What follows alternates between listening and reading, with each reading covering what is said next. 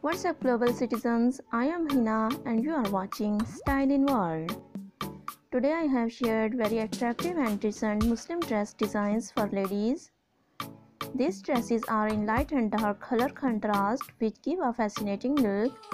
Embellishment with laces, buttons, sequences, net fabric, embroidery, cut work and much more. Now all you need to do is hit that subscribe button and the bell down below so in this way you don't miss any of my new video. Thanks for watching video. Allah hafiz